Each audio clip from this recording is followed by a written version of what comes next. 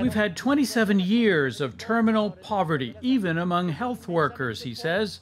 We all deserve better conditions. Colombia is now going into its second week of protests, sparked by proposed tax hikes on the poor and the middle class, a proposal made by the right wing government led by President Ivan Duque. First, before I get more into this story and what has happened with this proposal and why these protests are still going on, first, here's a clip from CBC News giving you an idea of what these protests look like.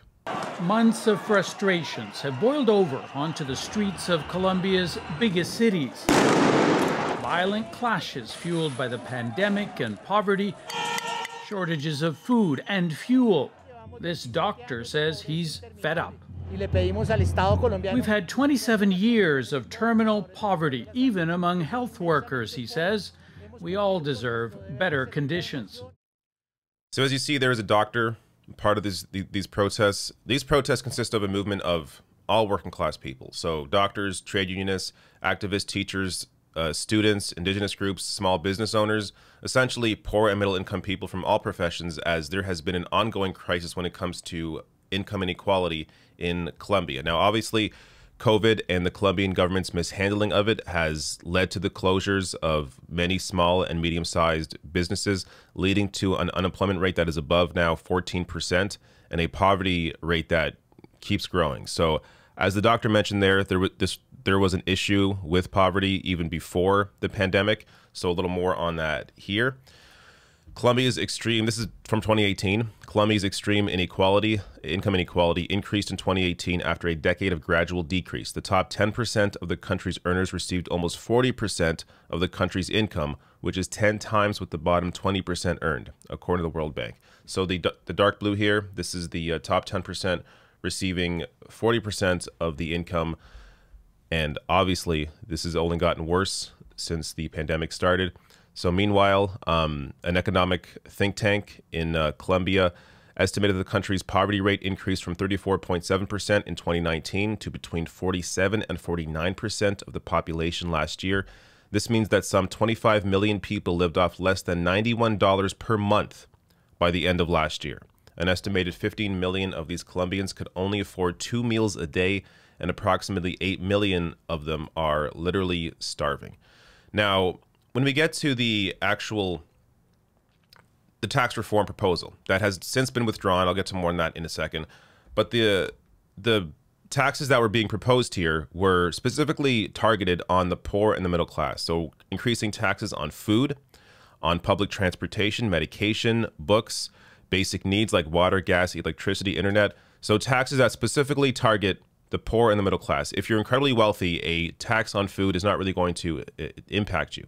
But if you're poor, that tax is going to have a an incredible impact specifically on the poor and the, the middle class. Now, following these protests, Colombian President Ivan Duque withdrew his tax reform proposal.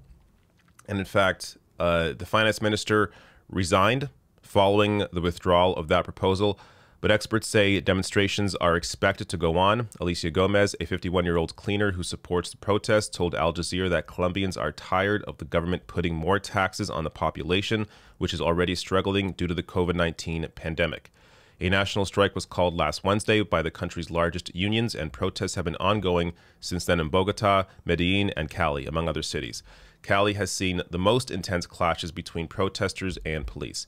Now, you may be wondering why these protests still going on if the tax reform proposal has been withdrawn. Well, as I said, it's more than just that proposal. So unions are now calling for a withdrawal of a proposed health reform and a guaranteed basic income of 1 million pesos, $260 American for all Colombians, as well as the demilitarization of cities, an end to the ongoing police violence, and the dismantling of heavy-handed riot police known as ESMAD. So the police violence is the other major piece of this story. Here is more on that from CBC News.